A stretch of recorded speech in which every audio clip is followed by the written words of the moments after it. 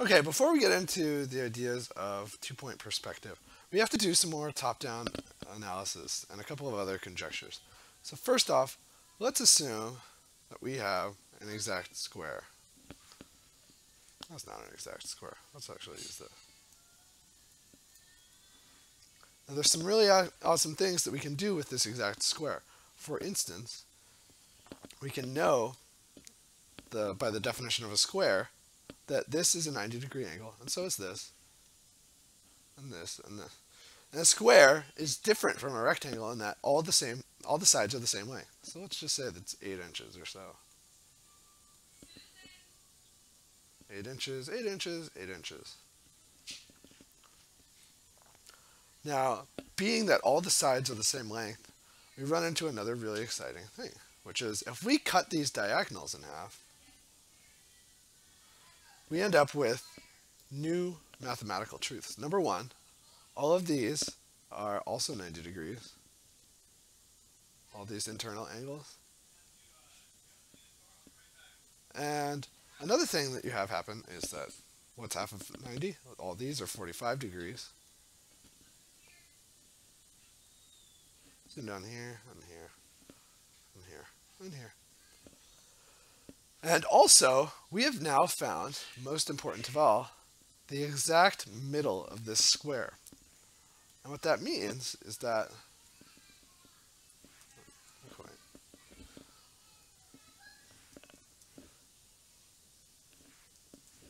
if we cut this exact middle square,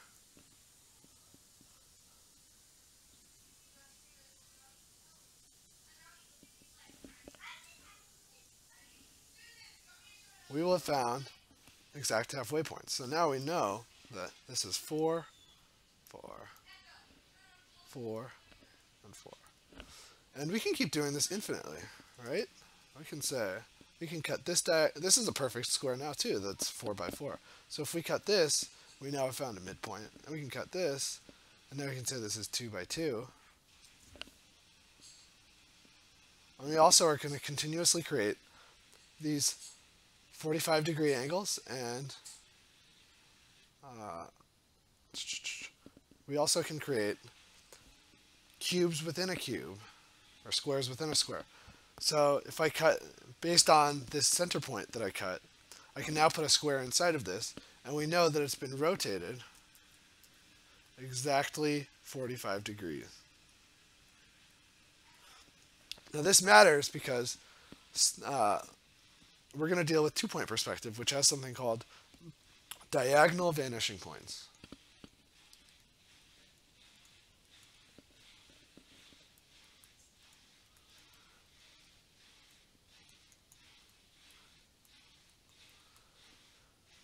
Or let's call it DVP for short. Now, diagonal vanishing points are very much locked in place in that in the same way that with one point perspective, one point, one point perspective equals principal vanishing point, which equals things that are parallel to us or perpendicular to us, or parallel to our line of sight or perpendicular. Parallel and perpendicular to line of sight.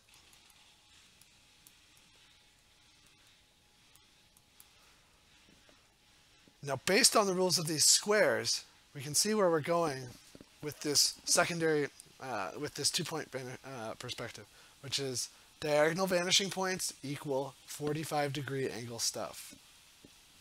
Anything that's turned 45 degrees from us is going to use our diagonal vanishing point.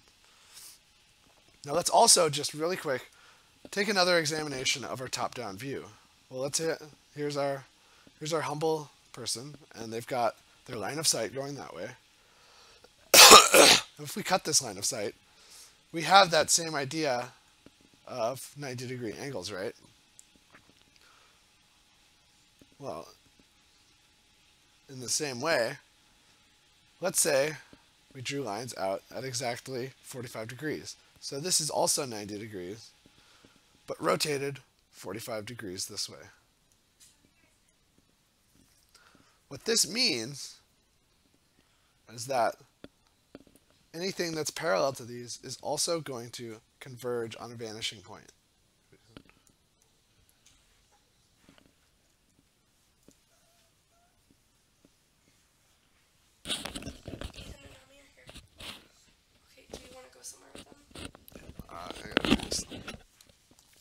Now, based on these secondary vanishing points, all the lines that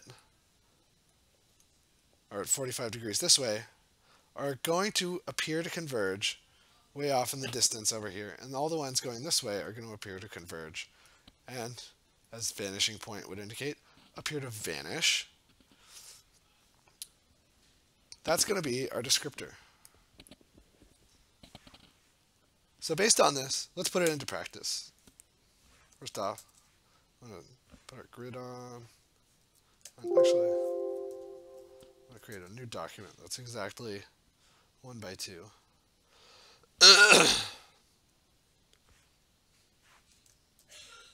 now, I don't care necessarily about getting these perfectly aligned yet, because that's a more advanced thing, and we'll talk about it pretty soon. But to start with, let's just put in a horizon.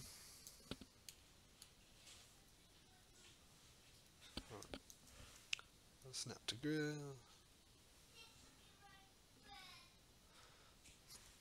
So if this is our horizon,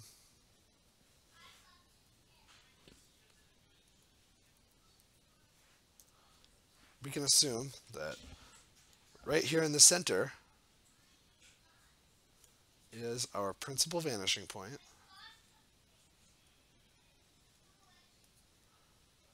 And over here is a diagonal vanishing point.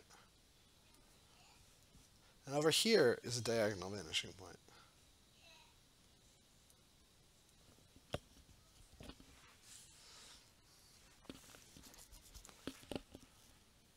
Now really fast, let's just draw a perfect square. And I'm going to add some assistants now. Again, assistants are only as good as your understanding of them, so don't get too excited about them. First off, I'll put one in right here for our principal vanishing point. One right here for this diagonal vanishing point.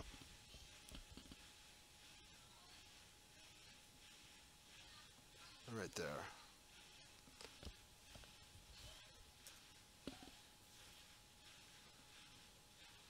Now let's start by drawing a line on the ground. And it can be anywhere, but for our sake.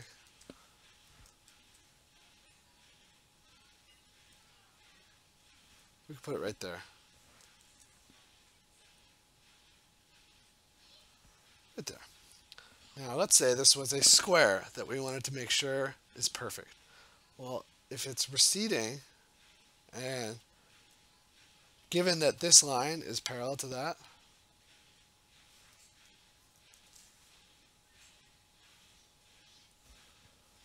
I can put it, so this line here because that is parallel to the horizon.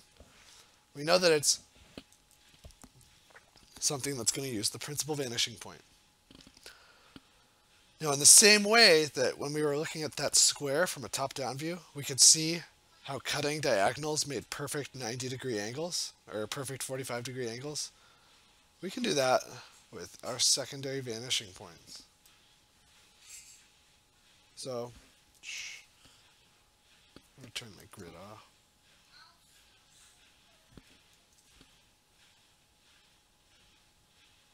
If I cut this square using a diagonal, I will have now found the exact back point of this.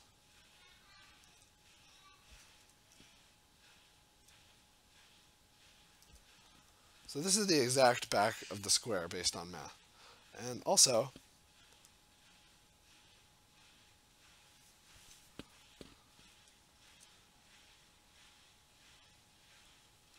if I cut it this way, going all the way back to that principal van or that diagonal vanishing point, we will have now found the exact center of this. So I can go like that, and I know what I'm looking at.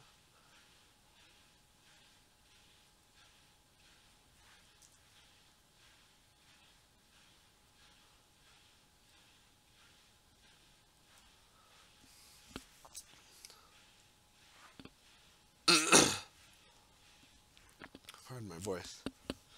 So all of these are going to be exact squares. Uh, you don't have to do this. You could have just, say, had two lines extend back towards the principal vanishing point. And you could chop them anywhere.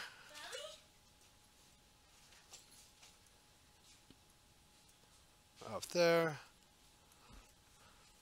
And we've arbitrarily chopped this. Uh, so we know based on a rectangle that we still have some mathematical truth. So given a rectangle,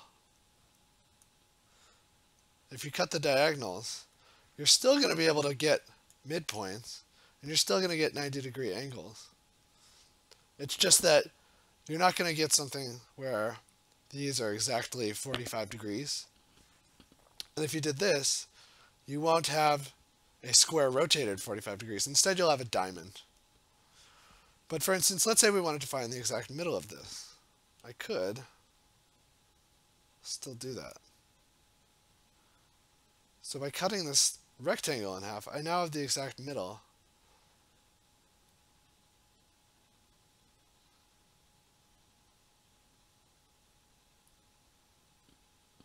And also the exact middle this way.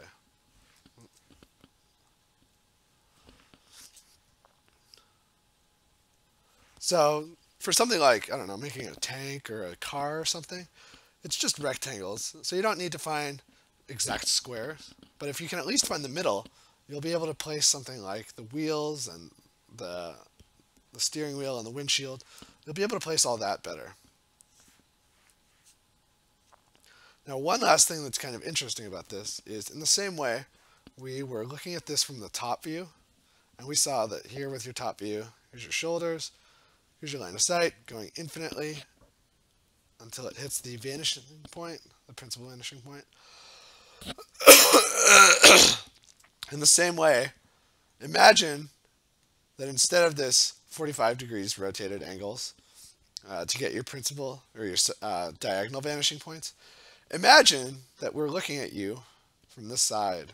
So here you are. Here's your line of sight. And in the same way that we can have an angle from the uh, the top view, we could have a 45 degree angle from the side view.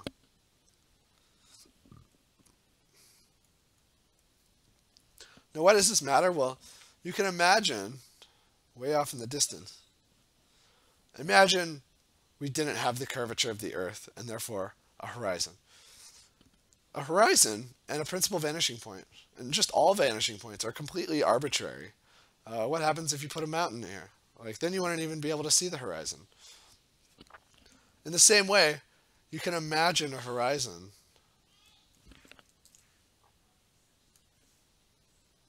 that went directly up and down.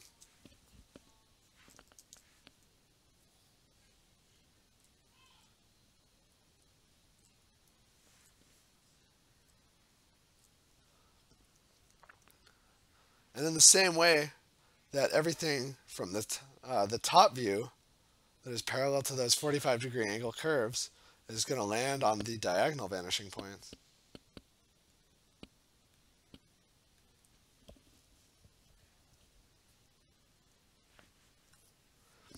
You can have the same happen with this side view. So imagine a bunch of lines that are parallel to this 45 degree turn from the side view. And this is important for when you want to do something like make a wall of repeating squares. So a wall is going to go in the opposite direction, up and down. Just to clean some of this up really fast.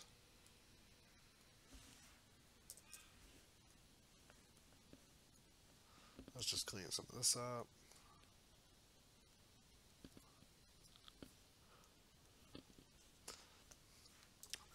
So imagine yourself.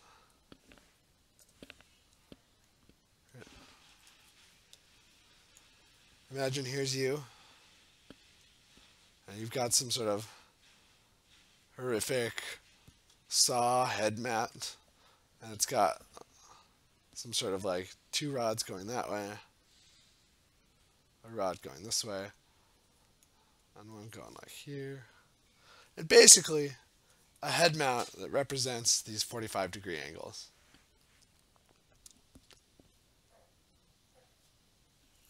Uh, one of the things that happens is you can imagine your secondary or your diagonal vanishing points over here as having an equidistant size up here.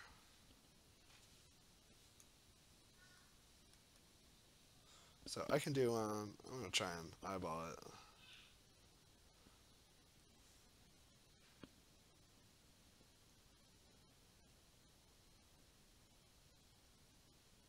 Maybe about there. So imagine I have this false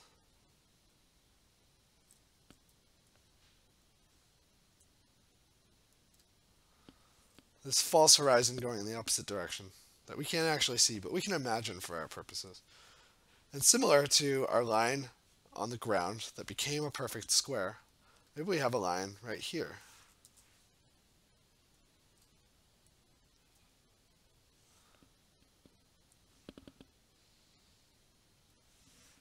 It goes towards that vanishing point. Well, we could cut this diagonal now. And once again, I figured out a perfect mathematical square. And if I cut this diagonal more, I now have the midpoint for this. Now you can continuously repeat these. Assistant on.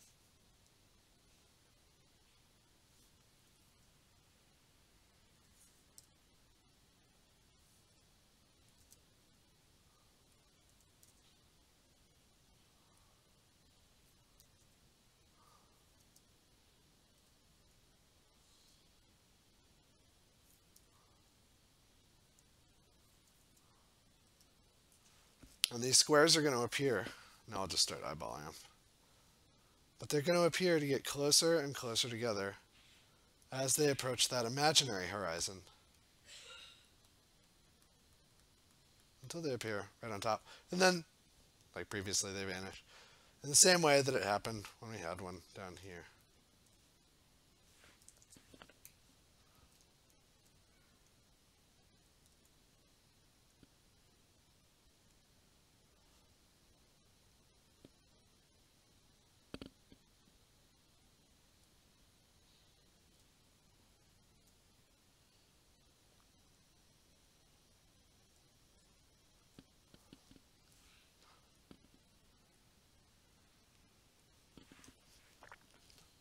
So again, we don't really see, we actually don't see this sort of upper horizon very much.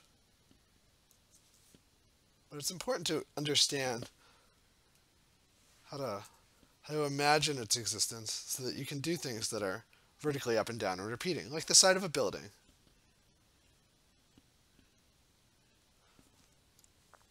So next up, Let's actually try and make a scene where we put this idea into practice.